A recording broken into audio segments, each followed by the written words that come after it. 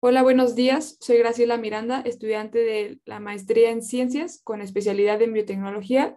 El tema de mi tesis es optimización del tiempo de del proceso de elaboración de yogurt mediante la aplicación de pulsos eléctricos.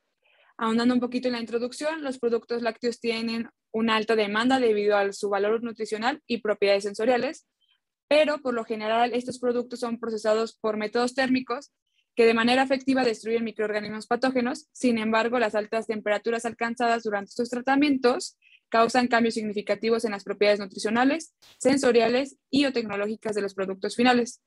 Por otra parte, los pulsos eléctricos, al ser un método de tratamiento no térmico, pueden ofrecer una mayor conservación de alimentos y optimización de procesos, obteniendo productos de alta calidad, es decir, que preserven su valor nutrimental, características de frescura y propiedades sensoriales.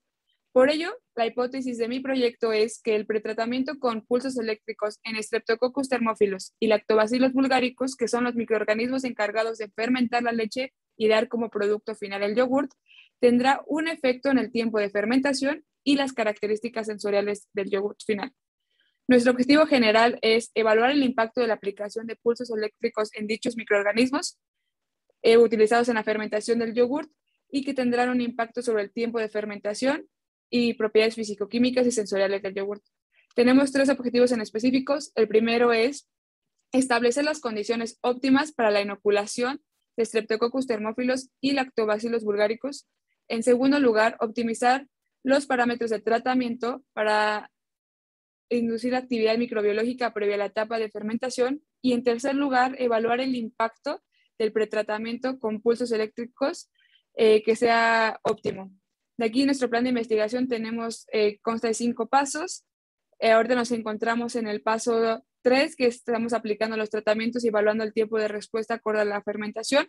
Estamos todavía en busca del tratamiento óptimo para posteriormente poder hacer esta comparativa con el producto comercial, con el control de hacer análisis físico-químicos como sobre todo pH, viscosidad, grados Brix y color. Los resultados esperados son encontrar el tratamiento óptimo, y en segundo lugar, que el, pulso, que el uso de pulsos eléctricos como pretratamiento en el proceso de elaboración del yogur reduzca el tiempo. Y por ello nuestras conclusiones son que el objetivo a cumplir de esta investigación es plantear una nueva alternativa del uso de pulsos eléctricos en la industria láctea, es decir, que funja como un pretratamiento para eficientar y optimizar los procesos, como lo es reducir el tiempo de fermentación. Muchas gracias por su tiempo.